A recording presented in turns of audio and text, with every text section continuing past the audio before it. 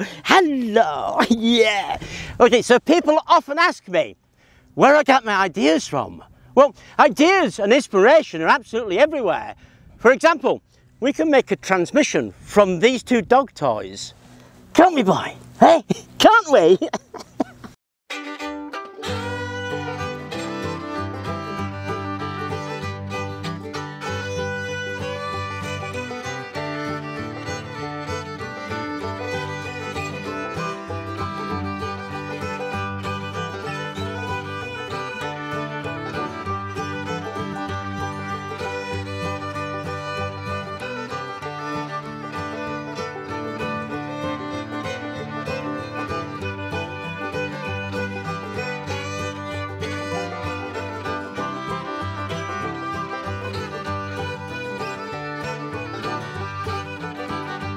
So of course I turned to Tinkercad and drew this up and for those two rings what we're going to use is this thing. It is obviously a dog toy. It's a solid rubber ring, the kind of thing that the dogs love to chew and they love to tug on.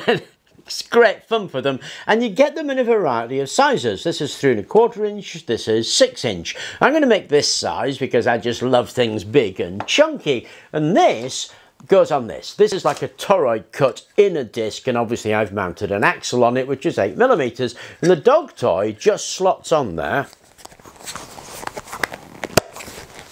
There we go and we have two of them. They go into this cradle here. The cradle's printed and it's got some bearings in it and of course they are skater bearings which are 22 millimeter outside diameter, 8 millimeter inside diameter and 7 millimeters thick. So there's four of them, two for each of these supports and of course they go straight into there.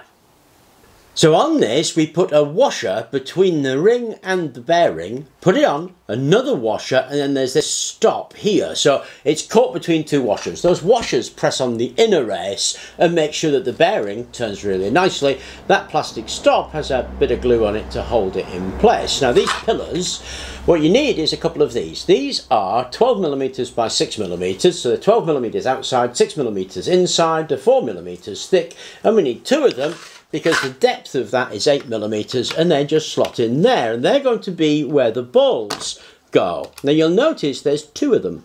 It will work with just one, but what happens is it splays that way. So if you put two in there, it keeps everything nice and true. So we need two balls. Now I was going to use a um, dog's ball, but Instead I printed this with an 8mm hole and you can see I put a bit of 8mm bar in there because that sits in that housing right there like that. There we go. Sits in the housing like that.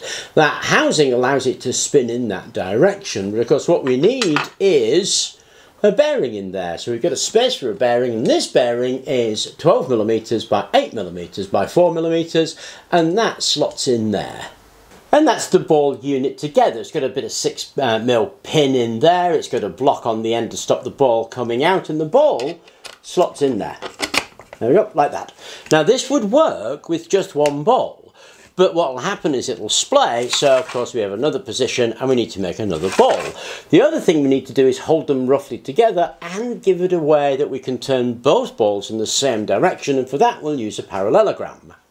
Okay, you'll find two beams like this with larger holes and they drop on here and here and the job of those is to pull the balls in as they're trying to be forced out. Is one goes in the top and one goes at the bottom of the cage.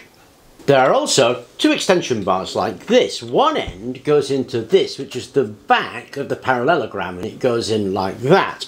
Then the other one, which is the lever we're going to operate, which is the front of the parallelogram, it goes in like that. So when we line these up, if we move that lever, that will move by the same amount. Oops, sorry, move by the same amount. So these go into here and you're going to make sure that that is 90 degrees to that so that when that's moved it moves that. Now we take the parts with the smaller holes in and you'll just get some 6mm pegs in there and they slot in that section there. We slot the other side in and that's our steering well, parallelogram. When I move that handle, both of these move in the same direction at the same time. Okay, so if I hold my steering and I turn the handle of the blue wheel, we've got a one-to-one -one ratio. It's turning as quickly as I'm cranking it really. If I move this lever that way, this will really slow down, even though I uh, keep turning at the same speed.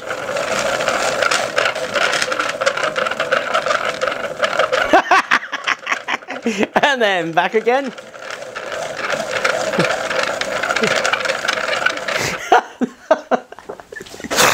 We go, a continuously variable transmission made from dog toys. Now, it's a bit of fun to do it from dog toys, but this is extraordinarily useful because, of course, we can put a feedback mechanism in there and we can keep a motor turning at constant speed, irrespective of how fast the input is turning, in this case, the blue wheel. And that has obvious benefits if we want to stick it in a wind turbine and control it so it doesn't burst into flames. Anyway, I uh, have of course put the files into Thingiverse, so anybody is welcome to this and make whatever use they want out of it. I think it's an awesome project and we can of course make it smaller, make it bigger, do whatever you want with it. Hope you enjoyed the video. Thank you very much for watching. and please do remember to like and subscribe.